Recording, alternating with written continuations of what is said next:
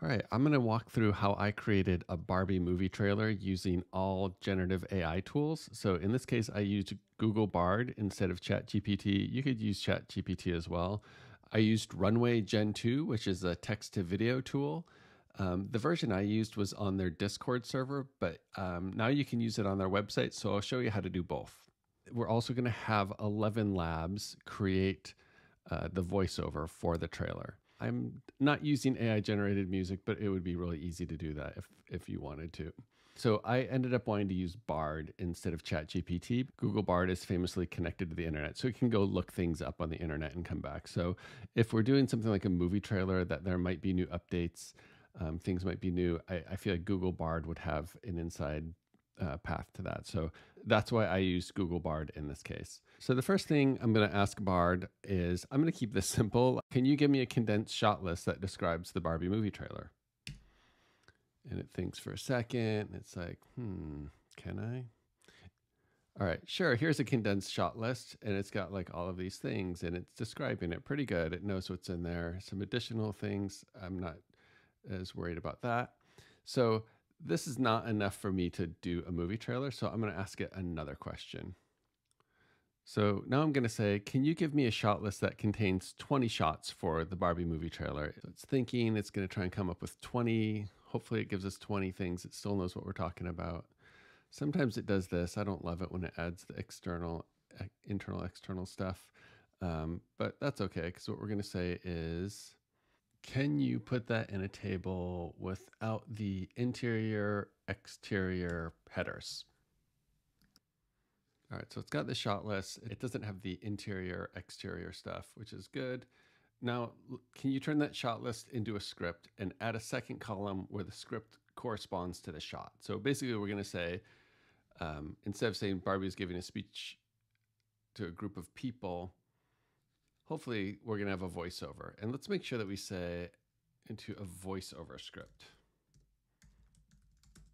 Because we can't have Barbie talking. It's not, we can, but there's other tools that would be involved. So we want to just keep it a voiceover script because um, we can generate the audio that way a little bit easier and we don't have to sync it up to anyone talking.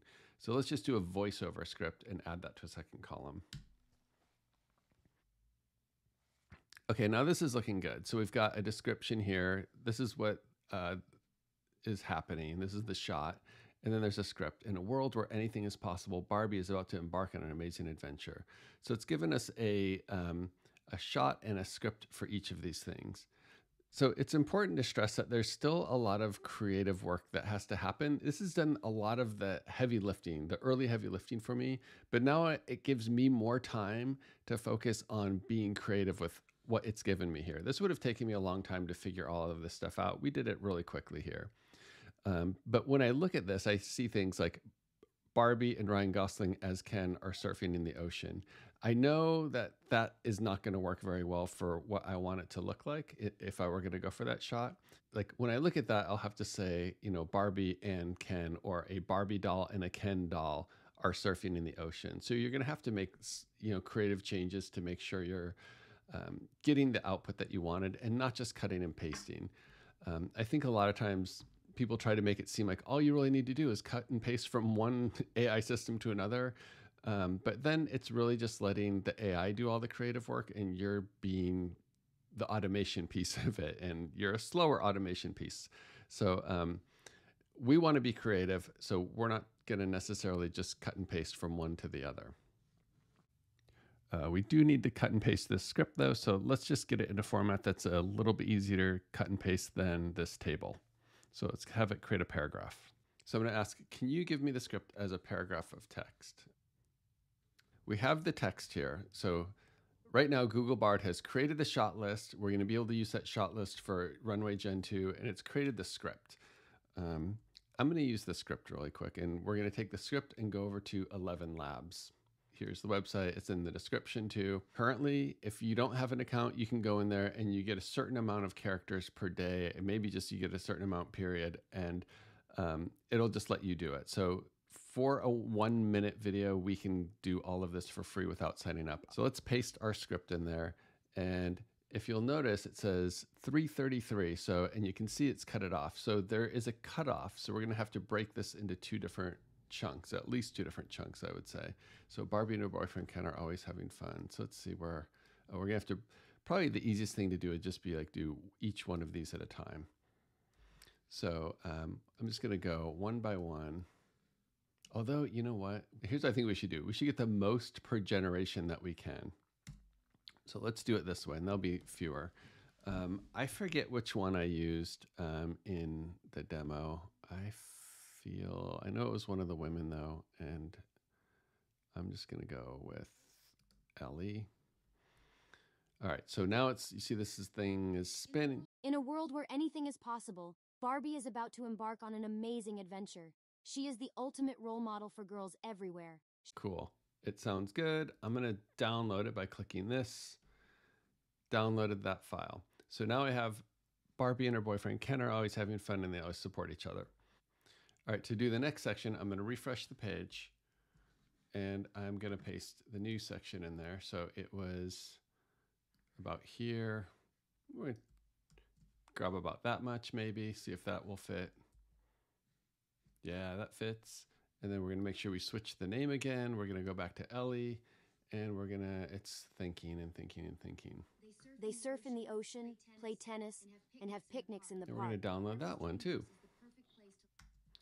Then we're going to reload again, paste the next section, choose Ellie again, Moments of insecurity. thinking through. We're going to download that one. If you have ElevenLabs, you can actually just paste this entire thing at once. And this is not like any kind of paid promotion for them, but like I, I've pasted entire scripts like this and it works great. So, and it also, I think that it gives it a little more consistency. It knows this is all one script, so the delivery is consistent for that script. Reload the page one last time and choose Ellie again. He is surrounded by people who And we're done. So we've got all of these clips downloaded. We have the audio for this script now. So AI generated the script, AI just generated the voiceover. Now we need AI to generate the video. And so um, we have this table still, and we can just go through and like copy and paste these.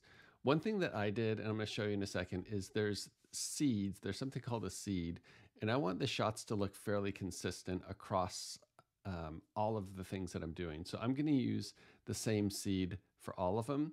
Now you could just start out with the same seed and use it for everything, but I wanted to play around a little bit and find one that matched the style that I was going for. So I'll show you what I mean. This was the first one that I did. Um, giant Barbie dolls on a beach, vivid colors, 3D render, Unreal Engine. Um, and it gave me stuff that looks like this, which is not what the look that I was going for. There were some other ones that I tried, and it was they were fun, but they're not really like the Barbie look that matched the script. This was getting a little bit closer. You started to see um, they look more like dolls in a dollhouse. This is definitely dolls in a dollhouse, but it's kind of strange too. Um, I kind of like it, but it's not what I was going for. Um, and then it started to get a little bit like maybe closer. This is like human version of Barbie. Um, this was kind of getting there too. This looks like claymation almost version of Barbie. And then this one, I was like, all right, like I had tried a bunch and I was like, this one looks pretty good. Like that's, that is a style. I don't know what that style is called. I, I realize since then some people have said that looks more like a Bratz doll than a Barbie doll, and apologies for that. Um, but to me, this was like this looks like a cool like thing to build a trailer around. So I went with this one. And what I did is I grabbed the seed. So what you can do if you're like, wait, what does that mean? The seed. So the seed is kind of like the initial noise pattern when it's creating a video. I, I don't fully understand it myself, but it's basically like the pattern. So it's like this random thing that it's starting with. Like if you imagine that you took a handful of seeds and threw flower seeds and threw them out in your yard, they would all grow in a certain pattern. And if you um, threw them in the same exact pattern every single time, and there was the same exact seeds landed in the same things, the flowers would always look the same. But if you took the handful of seeds, different seeds, and threw them, then you'd get a different pattern. So I know that's not technically what's happening, but that's how I think about it. It helps me understand it a little bit more. If you're doing this on the runway site, you can just go into Gen 2 And then this is where you would put your prompts in. So I'm going to use the same prompt that I used to find the style that I liked. So, but what I'm going to do is I'm not going to change this seed. This is a random seed and it's different than the one that I use. So let's just see what happens. I'm really curious to see too if this will, um, if I put the seed in here now that it's officially released, if it looks like the one that I did when it was on the Discord server. So let's wait a second and um, I'll come back in one second when this is done and then we'll put my seed in and see. Okay, this is how it looks. I, I kind of think it looks better in some ways. I feel like, I don't know, maybe they improved it since they launched it. But let's look and let's put my seed in. So this is just the randomly generated seed, right? Instead of this random seed, I'm going to click lock it in and then I'm going to paste my seed in there, 962. And then maybe I should just lock it in there just to make sure. So it's locked in there and then I'm going to hit generate again. So now let's see what happens. Okay, that's how that looks. Like, look at that. So it, these were done, you know, uh, almost a month apart, using the same exact prompt, using the same exact seed. This is the one that I did on, you know, May 19th on the Runway Discord server. We're just using the same exact prompt and the same exact seed, and now I'm able to regenerate that same exact clip on the Runway site, and it looks pretty much the same. If you're in the Runway site, this is what you'll do. You'll just you'll have your seed locked in here with the lock, and then you'll just paste all of your prompts in, generate.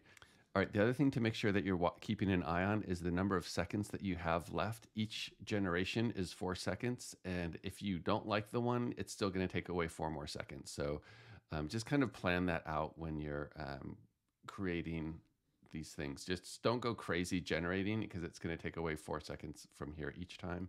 So be very intentional so what I started doing is pasting the prompts. Um, I didn't use the names of the actors anymore. Once I figured out the style I wanted, I just wanted to say a Barbie doll and a Ken doll driving in a pink, you know, convertible.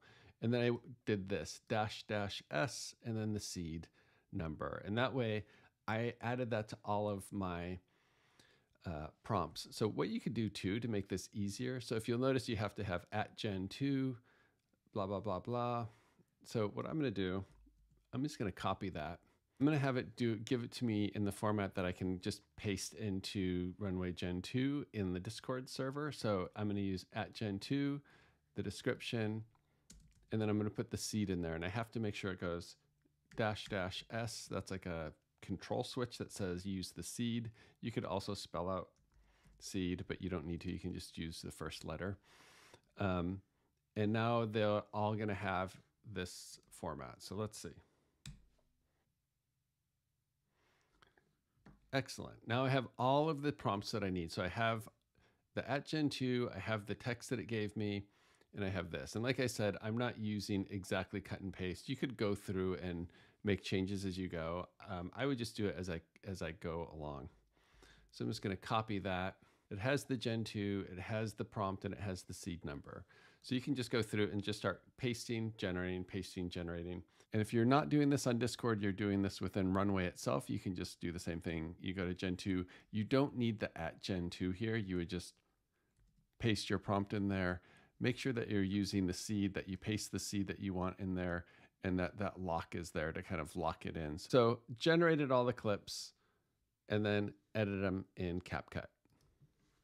Here's the voiceover clips that we created in um, ElevenLabs. So I'm just to drag that one there and then grab the second one, line it up, third one, line it up, and then the fourth one, line it up. All right, so now I've got my voiceover that I'm going to time all of my clips to. So what I did is like I had them all here. Um, I'm not going to bring them all in. This is just a part of the demo. But I've got all my clips here so I can kind of look through and make sure like some of them turned out strange like that one. You didn't see those in the final. Um, so let's just say I'm just going to put clips down there. So now I get to do all the creative work. I, I get to figure out how all of these clips and this voiceover are going to come together for a trailer. So this is like what video editing is. Like this is, you know, you're getting footage, you're getting scripts. You don't always have control over the content that you're getting. We have a, we have more control, I would argue, in some ways with the generative AI, because we can take what it generates and then we can iterate on top of that and really control our vision for what we want. So I think it's really cool because now I've got you know footage that I want. Not every shot is exactly what I want, um, but you know I could have made adjustments to the script if I wanted to. I could have chosen a different voice. This is where the human creativity part comes into play. I get to sit down and play with this now and try and figure out how to make this come to life. And if there's something that I don't like, I can have it easily re-recorded with the script. Or if there's a shot I'm missing, I can really easily go back and create another shot. Just to recap, what we have here is this MP3, which is from the script. We have the video footage, which is from these descriptions. And now me as the human is going to go through and just edit this and turn this into a wonderful movie trailer. So um, I hope that's helpful. Hopefully, I didn't go too far off track. But all of this stuff is really new and it's really exciting. So if you feel like you don't understand it or you feel like you're falling behind, like don't feel that way. Like everyone is trying to figure this stuff out. Um, just dive in, play around, um, and have fun with it. This is such an exciting time to be um, making generative AI videos. So go have fun, go make something weird with AI, and um, share a link in the comments if you make something cool. Or if you make something terrible, share that too. All right, thanks for watching. There are links to the tools that I used in the description, and there's also a link to the Barbie trailer that I created um, previously.